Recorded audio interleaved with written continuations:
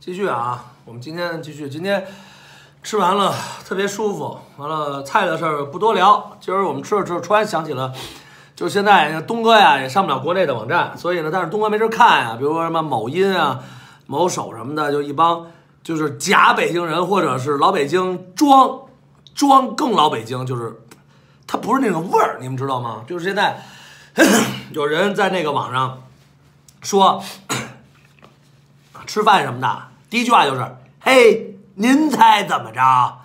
吃了吗您呢？傻逼吗？这不是北京人没这么说话，什么人这么说话？就是太监，对吗？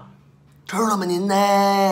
都是太监。北京人啊，跟大家说，哎呀，我今天我出小区，这些保安人家都是外地的，河南人居多。我见大哥就是，哎，大哥忙着呢啊，这大夫怎么着？忙着呢啊，忙着呢。再说的，一看也那边也老北京，我们怎么说？哎，大哥，哟，吃了您？这么说，没有说吃了吗？您呢？没有，就是吃了吗您？这样吃了吗您？有快音儿，有快音儿，人家说哎没吃呢啊，一会儿，这是北京话。对，所以说跟大家也是全世界的网友调整一下你们的就是想法，北京话没有这么说的，吃了吗您呢？您猜怎么着？那不傻逼吗？没有那么着，勇哥老北京，鸡哥是老北京边上的郊区老北京。我没有郊区，东哥没住郊区，四你环内呢。你哪儿？你哪儿？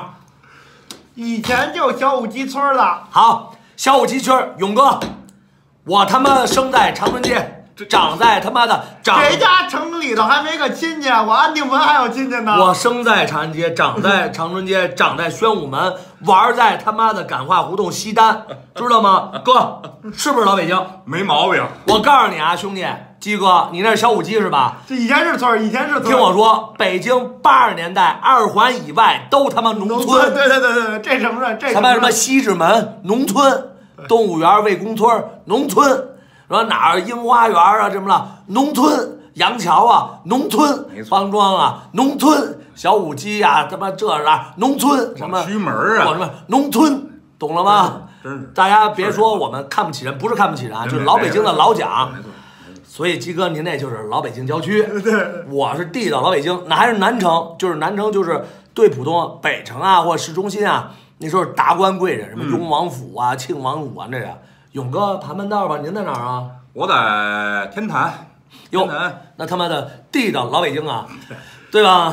咱就算是土生土长吧，真是土生土长可以这么说。所以刚才听小东说这个，我第一个疑问，咱们不知道人家这么说是什么意思啊？这不是他就是想把北京话夸张化，夸张化呢，去博取那些不懂北京话和不懂北京文化的人的眼光和点击量。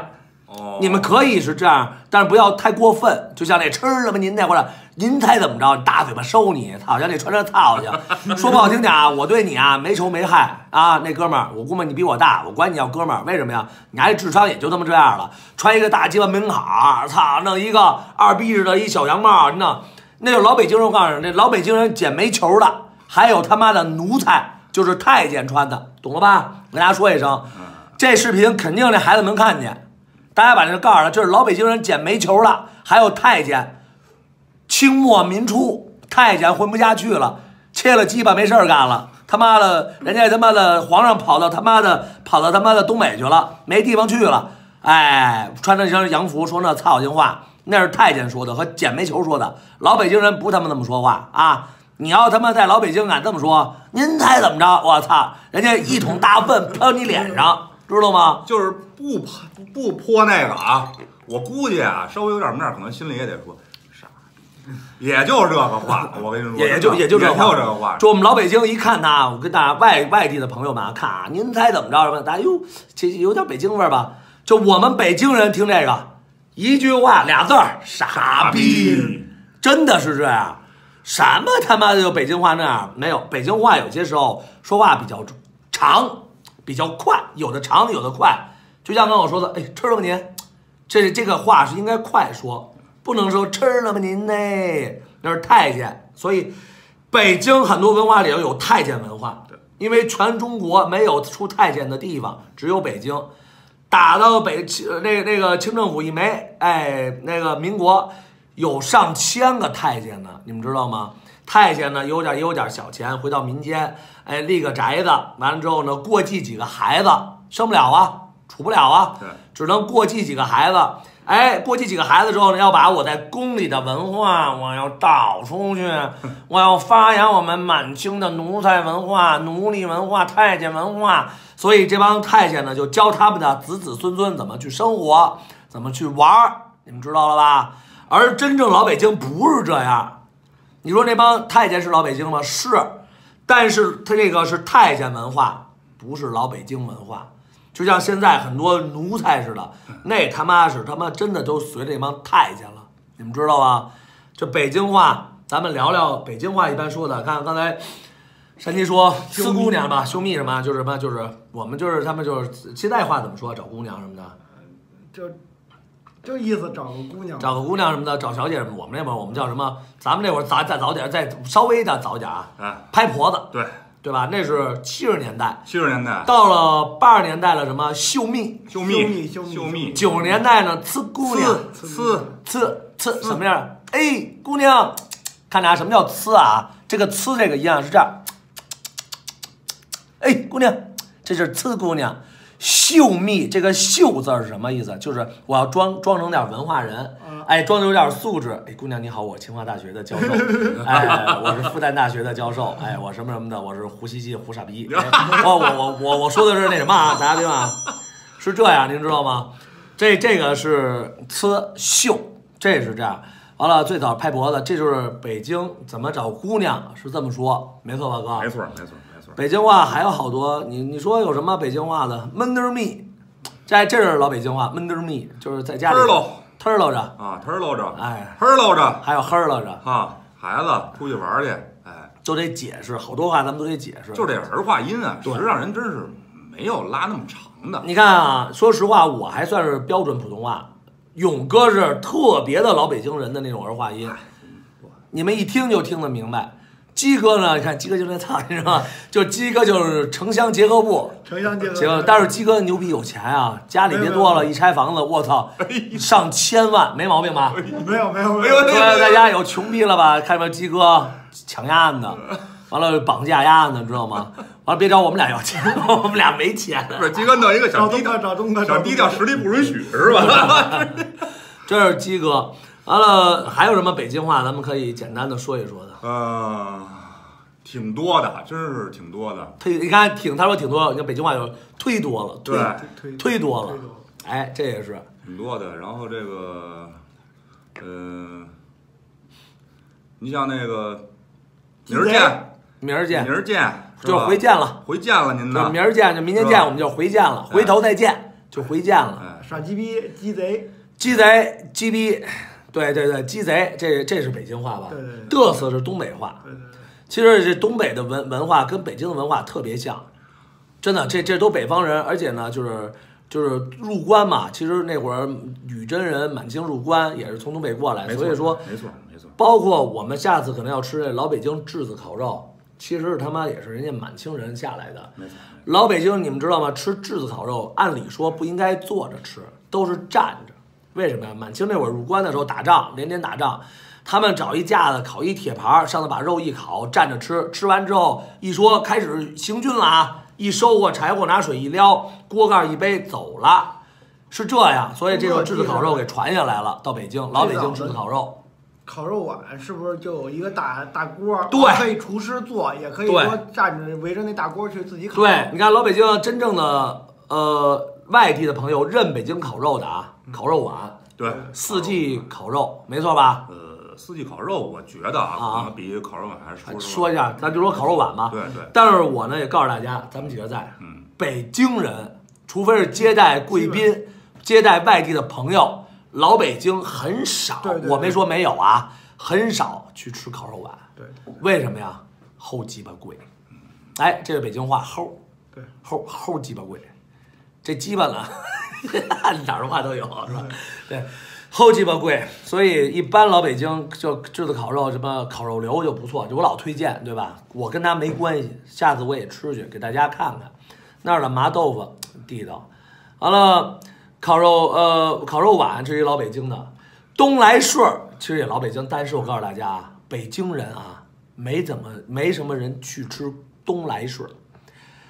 外地的朋友再来北京说吃涮羊肉，我告诉大家，东来顺儿不行。我们家在牛街，牛街的旗舰店就东来顺儿。现在呢，我告诉大家，开了四十多年，最牛逼的是啊，怎么关了？违章建筑。你妈，你说逗不逗？四十多年了，现在定性违章建筑，就欲加之罪，何患无辞乎？懂了吧？就什么都是违章，这真的就牛街西北八口没了。东来顺儿，你说南来顺儿的呀？南来顺儿的肉还行，南来顺儿的肉还行。完了，牛街这儿哪儿啊？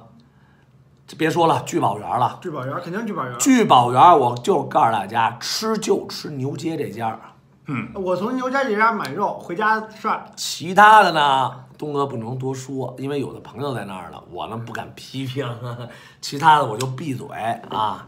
完了，对面连克轩，连克轩，连克轩，我跟您说啊它的肉没毛病，就是那个火烧比不上这个聚宝园。对对，聚宝园火烧是正好。还有呢，聚宝园的小菜，什么红果子呀，什么这那的小菜，其实比连克轩的，我个人认为要好点儿。哦哦，哦这大家尝尝。而牛街这条街啊，真的有不少美食，慢慢给大家推荐。比如说奶酪，奶酪是老北京的，哎，老北京的在哪儿啊？奶酪味，奶酪味，哎牛街这儿奶酪味就叫小吃，是奶皮子给酿化成的，有奶酪和双皮奶。我推荐大家记住了啊，很多人外地的朋友来北京，说啊我要吃奶酪，我要吃双皮奶最好什么的。我告诉大家，真正会吃的人不吃双皮奶。真正老北京会吃的吃原味奶酪，因为原味奶酪是用酒酿出来的，大家自己去查。东哥这是地道老北京，所以一听哎爱吃奶酪啊，爱吃双皮奶，你放心，一半儿都是外地的朋友。老北京的不吃双皮奶，或者很少吃，就吃原味的奶酪。这一说这个啊，我我插一句啊，小东，你你你说这个奶酪味，现在这个三元的这个奶酪，呃，咱们不说，也甭说谁好谁坏啊，我俩都说也不怕我我俩都吃过，你知道吧？我自己个人口感啊，啊真的，呃，无论说这个店面的这个整洁上，还有这个口感上，嗯我觉得现在三元还真是稍微的这个超越一下这个奶酪味，但？是勇哥，我这补充一下，嗯三元好吃是红豆双皮奶，不对但原原三元真正好吃的就是原味奶酪。原味什刹海我一九九六年进石大海，一直到二零零六年，那家双那个三元三元的奶酪店才关门，就在石大海斜对面，没错。北海幼儿园旁边。我吃了二十多年，兄弟，后来关张了，也是因为什么呀？买卖不好了，但是那味道真不错，他很多人不懂。他这个他这个现在就是说做的这个口味啊，真的我觉得就是，嗯，反正我觉得这个三元这个这个现在这个这个口感奶酪确实是，反正我觉得是啊，一个这个，另外一个呢，你看刚刚小东也说这个，就是说咱们北京以前留的这个好吃食，这好吃是，说实话，像这个刚才说小东说这个东来顺，咱说实话啊，实际上包括刚刚那个那个那个烤肉，对吧？这个银锭桥，对吧？后海，啊北京人都应该知道银锭桥那个烤肉碗哎，桥头边上那个，我父辈他们打小实际上还吃，就吃那个，就吃这个。他就是本地的人这吃食，现在不了，现在不了。包括这东来顺儿，说实说实话，几年以前这也也别几年了，说实话得有个五六七年，对七年了，六七年了，没上那儿吃过。他为什么呀？这口感他怎么现在它已经是什么流水化了。这一盘菜啊，这肉什么的，全是都冷冻下来切的，完之后没有精致的，经过真正的酱师的调教，哎，都是他妈早上起来一发货，各个店发吧，乱七八糟的，你。就是说你流水化，咱们说也没问题，但是我觉得应该有标准的，它这东西是不是？现在说实话，好多北京的这个老吃食，咱再说像豆汁儿，以前磁器口的锦心豆汁儿店嗯就那一家，多棒啊！说实话，咱夸张点说啊，说一里地外就能闻见那酸臭那味儿，对不对？到在店跟前儿您就更甭说了，是不是？现在后来也开了，这几家店也都搬了好几回，好多东西啊，我觉得都是真是没 留下来。这事儿吧，我觉得挺我我我自己反正也是想的不是特别明白，也许可能是市场上是吧？市场这种需求呃不一样了，口味不一样了，还是说自己自身的这个 品控的这个质量现在就慢慢就下来了，是吧？其实我觉得真是说。呃，好多外地的朋友上北京来了，嗯，大老远来了，你说吃吃烤鸭，吃吃这个咱们这个东来顺，喝点豆汁儿，其实我觉得这不就是一个是吃，一个就是文化了吗？是不是？您不能，呃，这天安门得看是吧？故宫也得看，对吧？但是您也得尝尝咱本地的东西。但是现在就这些个东西，口味都不是特别的正了，我觉得印象不是特别好啊。我觉得不是印象特别好说。的太腼腆了啊！你这勇哥五大三粗的说话那么那么腼腆，就是说吃来说，我们真的有有话说。完了，北京话的文化，北京的土文化方言，我也没有有话说。就是以后就再说北京人说话，北京人说话挺快的，没那么慢。吃了吧您嘞，就是那个。北京人不磨叽，您猜怎么着？没那么说话了。再说一遍，您猜怎么着？这种的都是太监，太监的根儿就是太监过继下来的孩子才这么说话。老北京人不这么说话，千万别误会。把这视频啊发给他妈的这那，大家随便发，一定说清楚了。老北京人绝对不他妈说您猜怎么着？拿一个围脖一围，这大鸡巴帽子一戴，哎呦喂，李爷哪儿去啊？记住了啊，有吗？有太监，或者太监的子嗣，就是领养的孩子才这么说。老北京人去你妈的，拿他妈的饭盆坑牙，不拿他妈尿盆扣牙脸上，记住了啊，没这回事儿，没错吧，勇哥？没错儿，要不然您这么说话，您就是怎么着？首首首都人民剧场有有演出是怎么着？啊咱另外，您字儿在北京这是个文化，对对对，您到哪儿都说您，除非是他妈的真急了骂丫臭傻逼。一般情况下，别管是我们停自行车，原来有停自行车开车的，有看车的，对吧？现在都汽车，没错原来我们没钱买，我们都是自行车有看车的。没错，完了之后还有什么开大门的大哥，那会儿没有他妈保安，那会儿什么大爷看大门全大爷吧，北京的，对对吧？